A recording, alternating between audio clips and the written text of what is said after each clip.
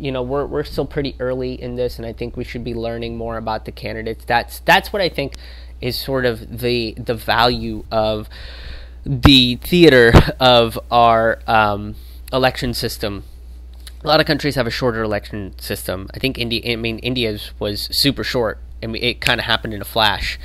Um, England's is like six weeks. Um, in America, it takes a it takes a long time, but part of that is because America is a very big country, and these guys have to get to a lot of different people. And what I think the v- sort of positive aspect of the Democratic debates right now is, uh, I mentioned this in a in in a video I did is every single person that I'm looking at, other than the corporate candidates. Um, between Tulsi and Bernie and Andrew Yang and Marianne Williamson, uh, Elizabeth Warren, you know, uh, even Julian Castro, um, Jay Inslee, everybody kind of has a very, very strong skill that I think uh, could go into one one point of the cabinet so for me, I'm going to use I'm to use what I think would be the ideal ticket would would be Tulsi and Bernie, right? I think Tulsi would make a g- great president because I think she's got a lot of intelligence about how to deal with foreign affairs.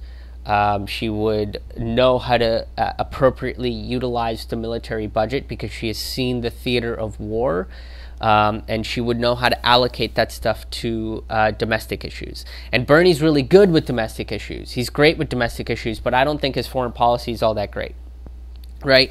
Uh, but Bernie's eh, fucking great with domestic issues. So you keep him close to the Senate.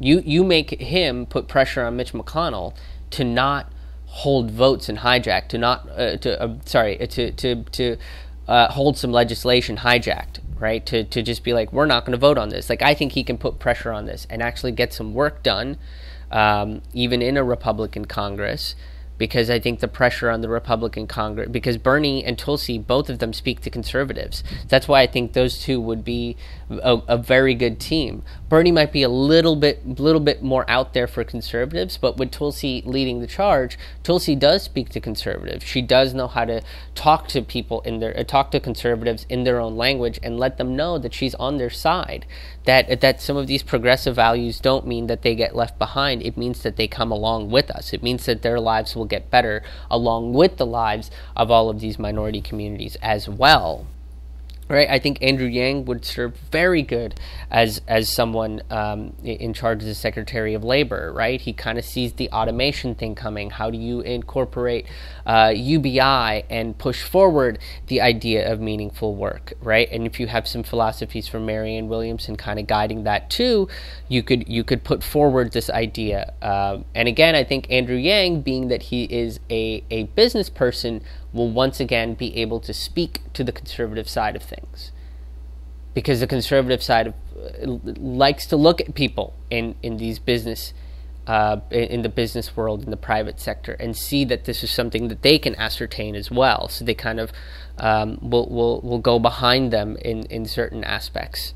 Uh, I think Marianne Williamson should be connected with the Department of Education um, and and in state this Department of Youth and Children um, really put forward some reforms in the education system through what we talked about, uh, through through her her ideas of um, you know, teaching religion as history, having a mindfulness thing, having some emotional education in there, uh, putting forward critical thinking, putting forward the ideas of real history. Fuck, I mean, if she comes out and is just like, hey, I think people's history of the United States should be taught in schools as as as the history th- uh, uh, lesson, I'd be all on board, man.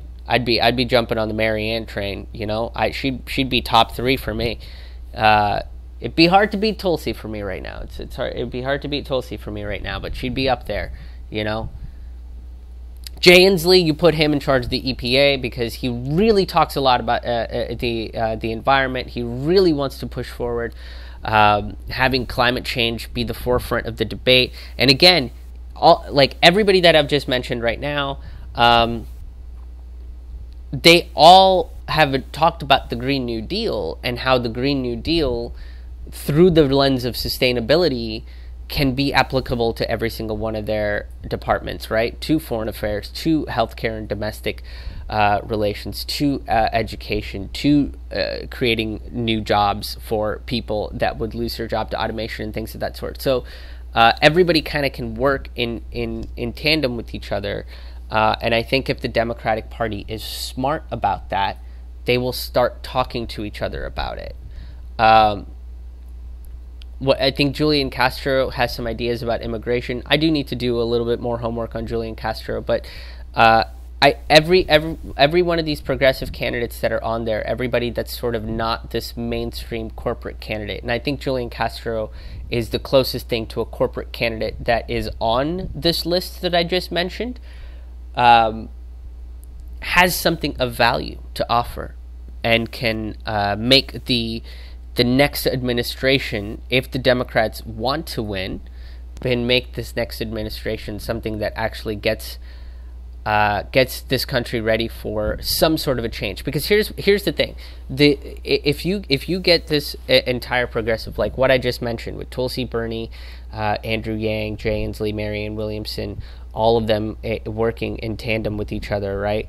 Uh, at these various departments, working with each other, not kind of battling each other, and they can get legislation passed through. Because I think within the within the the um, within Congress right now there are a variety of representatives and senators that are willing to work with the administration to push forward these ideas and to communicate to people that these ideas are good ideas that aren't going to leave them behind. Very important to do that. Um, we will see a a transformational idea of democracy and leadership in America uh, that we probably haven't seen for a very long time. Which is scary which is why which is why I think you know 2020 to 2024 will essentially be a campaign to try to get everything in preparation for something that is going to carry it forward for something that's going to mean that it's going to be true, tr- truly progressive. And then from 2024 to 2028 and so on and so forth we can kind of guide that change forward. We can start seeing some of the implementation of what are we going to do with automation? How are we going to reform the education system? How are we going to get out of some of these regime change wars that we've uh, that that America has started? How is America going to uh, make peace with the world and not be the global police? How are we going to implement a universal health care and figure out a budgetary application to pay for things like this and take take into consideration what it does to the healthcare industry itself, right? I'm not talking about the pharmaceutical industry or the insurance companies, but uh, how do we take care of our doctors? How do we take care of uh, PCPs, healthcare professionals, things like that, and make sure that the people of America are not going into debt because they have um, they have a medical issue or something. All of these things can work in tandem. So I think within eight years we might see that plan uh, being enacted if we see a truly transformational administration, uh, like the one that I just mentioned. That's that's another reason why I don't buy into this any blue will do kind of thing. You know, that's part of the reason why I don't buy into that sort of stuff. But uh, but yeah, that's what I think. Um,